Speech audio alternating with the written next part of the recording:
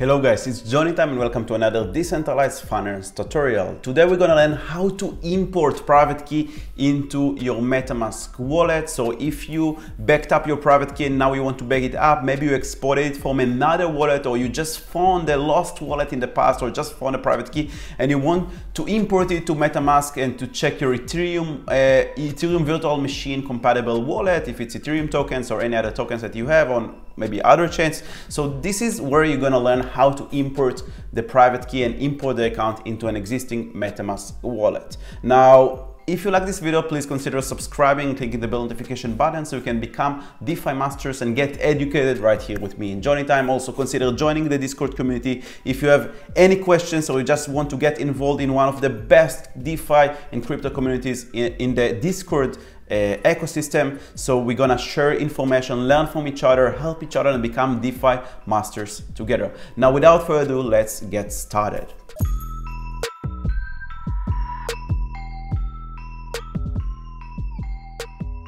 All right, so the basically simple way to import private key into a MetaMask wallet import account. Let's see it by an example. So right now you can see that I have a MetaMask account, MetaMask wallet with one account and you're just gonna click here, import account, and then you have two options to import a JSON file or a private key. I always prefer to use the private key because it's more, more easy to use and I just have a wallet, a private key right here. I'm gonna copy it, paste it right here and import and automatically consider your account to is being imported and you will have the label imported right here. This, this is basically how you can import private keys, Ethereum private keys into the MetaMask wallet and then you can use them using the amazing features of MetaMask wallet. If you're not familiar with what private keys and public keys are, check out my other videos about private keys and public keys and what are seed phrases, mnemonic phrases and basically learn from my uh,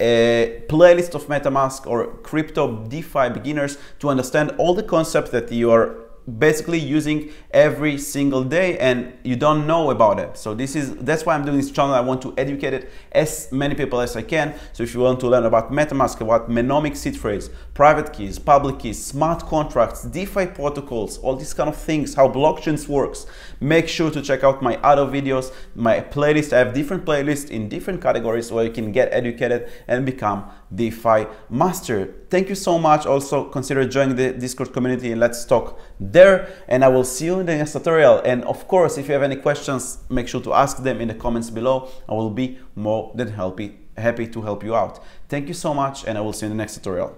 Bye bye.